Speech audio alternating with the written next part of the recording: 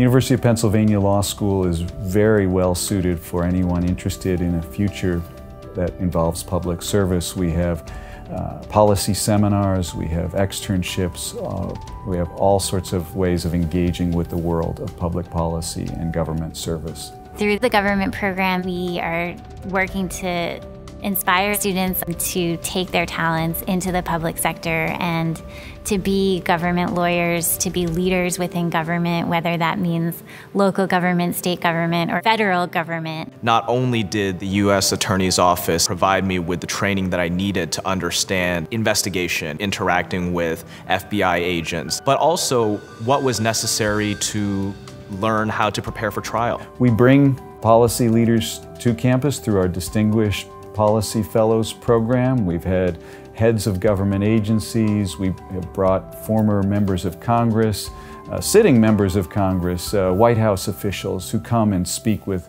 our students. It allows people to talk to lawyers who've been in government, to be advised by them, but also if they're thinking after those conversations they want to go into government, you know, to, to, to really see the impact they have. And then they have they have doors that are open to them that otherwise wouldn't be open. What excites me every day is the opportunity to work with bright, ambitious, mission-driven students who want to contribute to society, who want to make an impact. We want to make sure that students from the University of Pennsylvania Law School have uh, the background, the skills, and the exposure to uh, what, what leadership in the government public sector means.